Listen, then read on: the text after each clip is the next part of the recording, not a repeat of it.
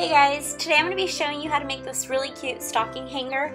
I don't have a fireplace in my home to hang my stockings up on and I'm sure some of you guys don't either so hopefully this helps you guys and gives you something cute to hang your stockings on this Christmas. So here's a list of things you'll need.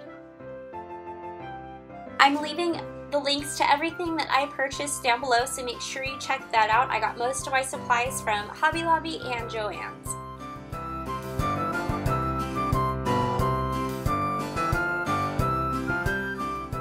Okay, so first I'm starting out by removing the sticker and this is a little bit harder than I expected. That glue would not come off. So I had to get some sandpaper and just sand it down a little bit. Next I'm mixing some paints that I already had on hand. I knew I wanted this to be sort of a gray color and I had some white and I had some black paint left over from previous projects that I did. So I just mixed those together and it actually created a really pretty shade of gray. Now I'm putting a really thin coat on because I want some of that wood grain to show through. I don't want it to be just a solid opaque gray. And you'll see once I'm all done, it looks really nice with just that thin coat of paint.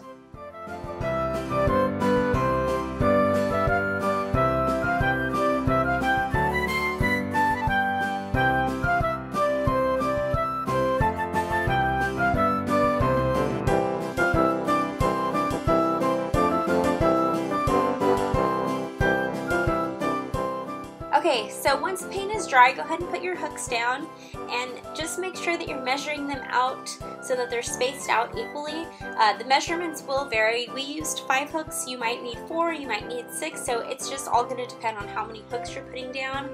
I also hung my hooks about an inch from the bottom of the board so once you have them placed where you want them, uh, just take a pencil or a color pencil or something and mark the holes where you're going to be putting the screws. And you'll see why in a minute.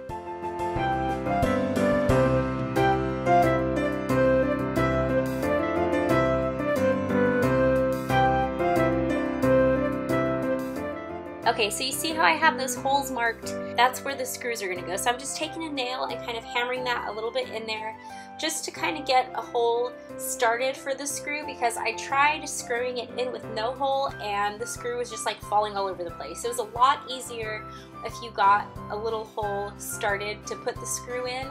Uh, it just made things go a lot easier. So now I'm just gonna screw in all five hooks.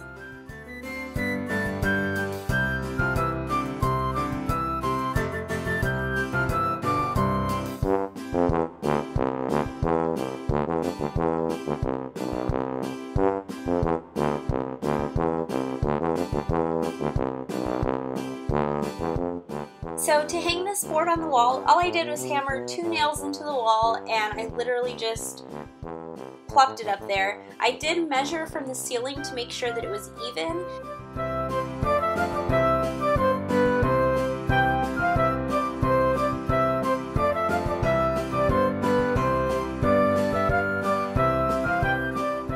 Now I'm taking my garland and in no particular way. I'm just hanging it up there and yeah, I'm telling you guys, it is as easy as that. So here's the finished product. I hope you guys liked it. If you decide to make something like this, make sure you post it on Instagram and tag me in it so I can see. Alright you guys, that is it. Thank you so much for watching. I'll see you all in my next video. Bye!